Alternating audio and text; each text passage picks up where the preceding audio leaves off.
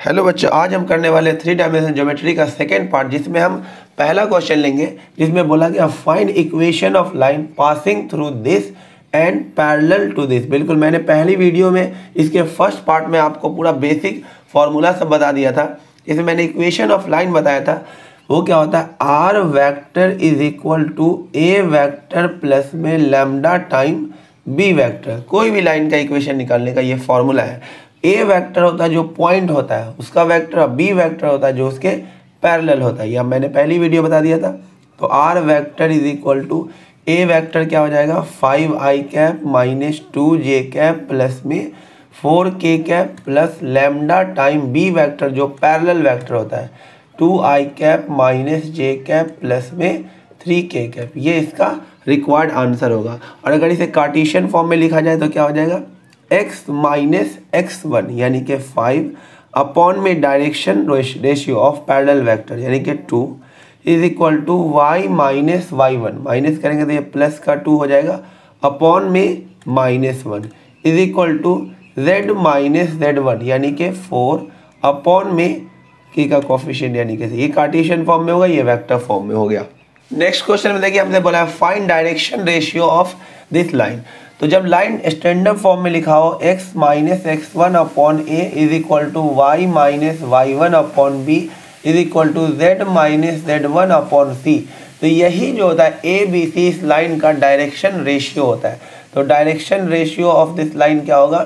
A comma b comma c तो पहले हम क्या करते हैं, इस लाइन को स्टैंडर्ड फॉर्म में लिख लेते हैं। तो इसको पहले हमें क्या करना पड़ेगा टू से डिवाइड करना होगा ऊपर नीचे। तो ये हो जाएगा x minus one by two upon two by two क्या हो जाएगा? वन इसमें सिर्फ़ क्या करना पड़ेगा माइनस से डिवाइड करने का पड़ेगा।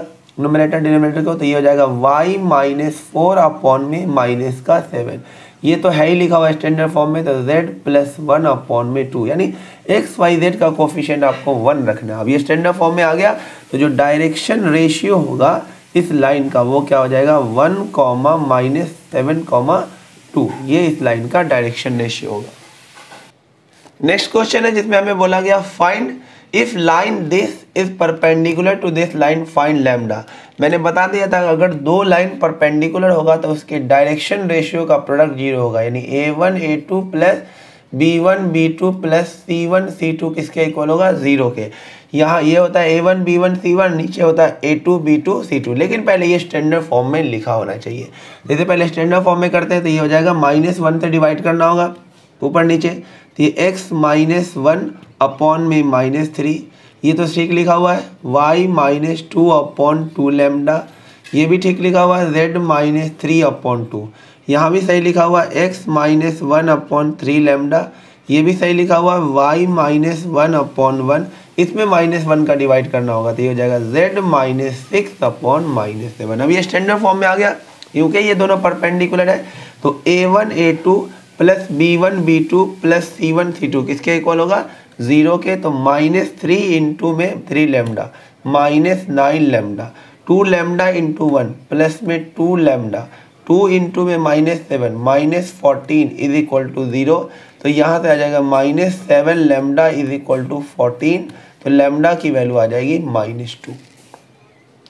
देखिए, नेक्स्ट क्वेश्चन हमसे बोला गया है is alpha, beta, gamma with the angle of inclination of line with x axis, y axis, and z axis find value of this.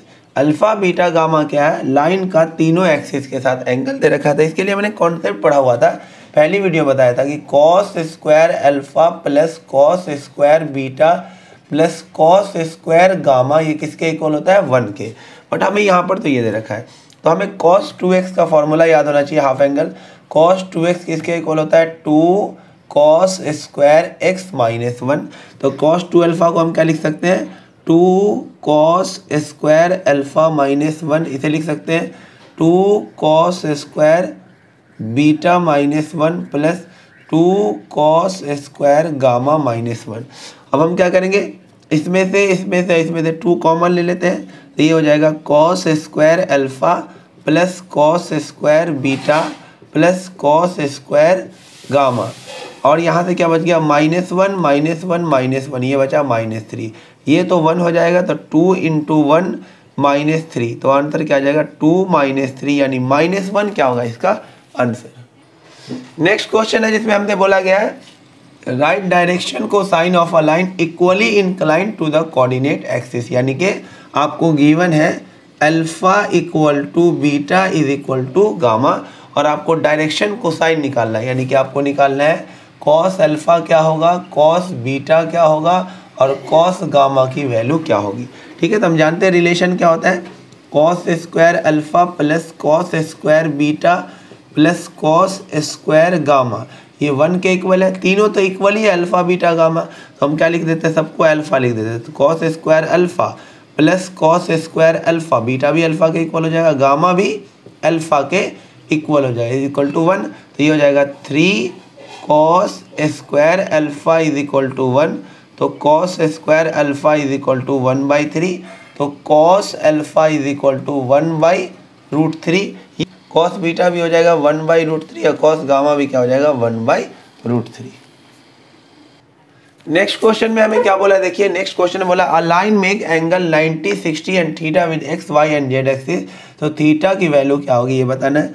तो हम जानते हैं cos square alpha plus cos square beta plus cos square gamma is equal to one alpha हमें दे रखा है ninety degree तो cos square ninety beta हमें दे रखा है सिक्सटी तो कॉस स्क्वायर सिक्सटी गामा हमें निकालने को बोला है कॉस स्क्वायर तो यानी कि गामा की जगह लिख दीजिए theta is equal to worth cos ninety zero cos sixty one by two one by two का square one by four plus cos square theta is equal to one तो cos square theta is equal to one minus one by four तो cos square theta is equal to three by four तो cos theta is equal to हो जाएगा root three by two root three by two sixty degree thirty degree पे आएगा। तो theta किसके equal हो जाएगा? थर्टी डिग्री थीटा हमारा होगा तीस डिग्री देखिए नेक्स्ट क्वेश्चन ये मोस्ट इंपॉर्टेंट क्वेश्चन हमें निकालना। Find foot of perpendicular from this point on the line this एक पॉइंट का हमें फुट ऑफ़ परपेंडिकुलर निकालना है इस लाइन पे। यानी ये हमें एक लाइन दे रखा है, जिसका डायरेक्शन रेशियो कितना है? Minus one three minus two इस लाइन का डायरेक्शन रेशियो दे रखा है। और इसके ऊपर फुट ऑफ़ परपेंडिकुलर निकालना किस पॉइंट से? ये मान लो पी पॉइंट है zero comma two comma seven और हमें ये वाला पॉइंट निकालना मान लो क्यू पॉइंट निकालना है। क्यू पॉइंट हमें निकालना है। इसको जनरल पॉइंट मान लेता हूँ। X comma Y comma Z यही क्यू पॉइंट हमें निकालना है। तो देखिए बच्चों, सबसे पहले हमें क्या करना है?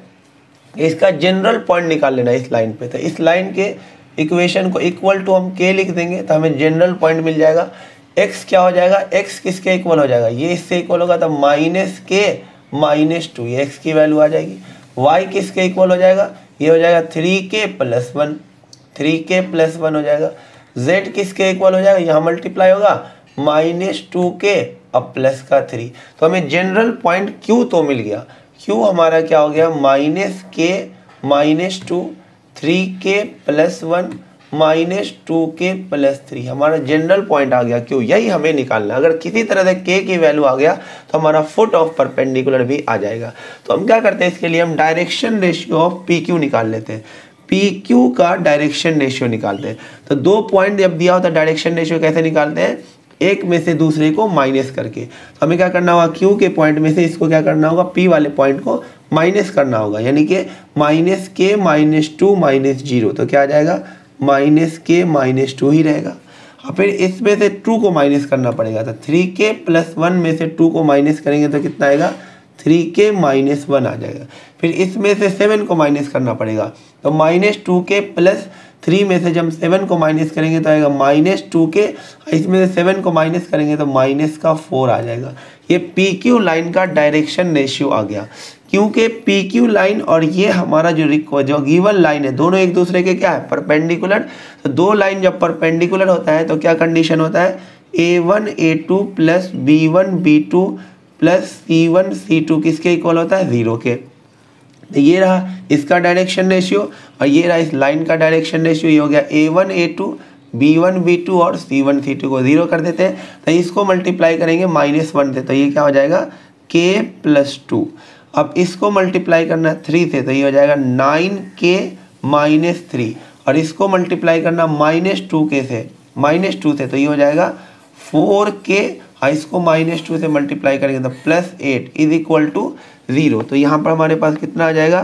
फाइव फोर्टीन के फोर्टीन के और ये कितना हो जाएगा? एट टू टेन सेवन उधर जाके हो जाएगा माइनस का सेवन तो लेमडा की जो वैल्यू आ जाएगी, वो आ जाएगी माइनस का वन बाई टू लेमडा आ गया तो अब हमारा फुट ऑफ़ परपेंडिकुलर जो कि हमें क्यू निकालना था, वो आ जाएगा। तो फुट ऑफ़ परपेंडिकुलर क्यू हमारा क्या हो जाएगा? के के की जगह। लेमडा नहीं है क्या? है के के की जगह हमें कितना लिख देना है? Minus one by two. तो माइनस वन बाई टू डालें तो ये जाएगा plus one by two minus two, comma, ये डालेंगे तो ये जाएगा minus three by two plus one. यहाँ डालेंगे तो कितना हो जाएगा? वन प्लस में थ्री। तो हमारा फुट ऑफ़ परपेंडिकुलर हो जाएगा minus three by two, comma, ये हो जाएगा minus one by two, comma four. ये हमारा फुट ऑफ़ परपेंडिकुलर होगा। देखिए नेक्स्ट क्वेश्चन हमारे पास है, जिसमें क्या बोला गया है? देखिए नेक्स्ट क्वेश्चन हमारे पास जिसमें बोला है find value of lambda so that lines are perpendicular ये लाइन इसके क्या है? परपेंडिकुलर दो लाइन जब परपेंडिकुलर होगा तो क्या कंडीशन होता है? A one A two plus B one B two plus C one C two is equal to zero तो पहले स्टैंडर्ड फॉर्म में कर लेते हैं। तो ये तो है स्टैंडर्ड फॉर्म में X minus five upon five lambda plus two इसे करना होगा तो ये हो जाएगा Y minus two upon minus five इसे भी करना होगा तो z माइनस वन अपॉन में ये प्लस का वन हो जाएगा।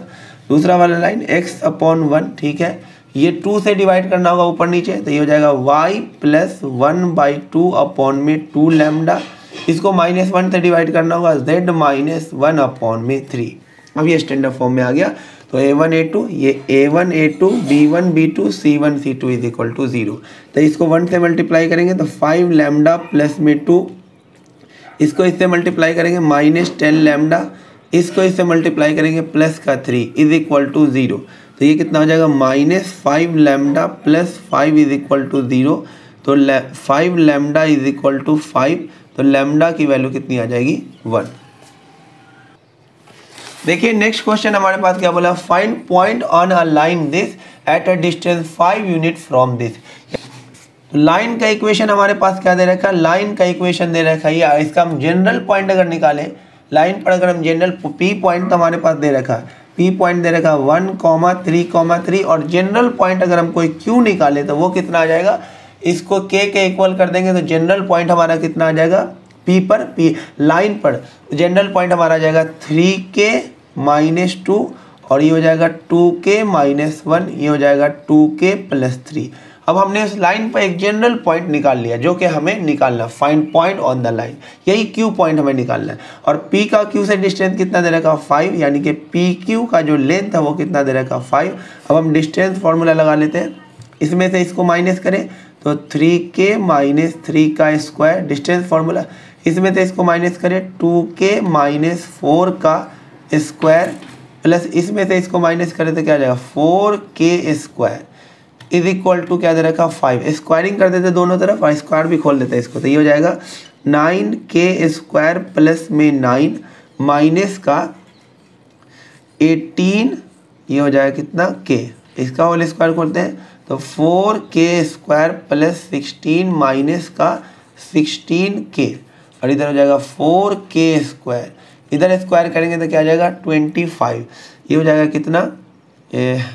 सेवेंटीन के स्क्वायर और के कितना हो जाएगा? माइनस का थर्टी फोर के और ये प्लस का twenty five is equal to twenty five ये कट जाएगा।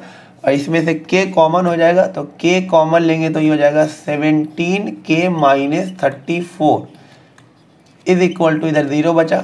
तो ये हो जाएगा के इज़ इक्वल टू ज़ीरो और इसको ज़ीरो करेंगे तो के की वैल्यू क्या आ जाएगी? टू क्योंकि ये थर्टी फोर है तो यहाँ से आ जाएगा के की दो वैल्यू आ गई तो क्यू भी दो आएगा। जब एक बार के की जगह हम ज़ीरो डालेंगे तो हमारा पॉइंट क्या आएगा? Minus two comma minus one comma three और दूसरा पॉइंट क्या आ जाएगा जब हम टू डालेंगे? तो टू थ्री जा सिक्स माइनस टू यानी कि फोर और जब इसमें टू डालेंगे तो फोर माइनस वन यानी कि थ्री जब इसमें टू डालेंगे तो फोर प्लस ये हमारा दो पॉइंट आ जाएगा उस लाइन पे।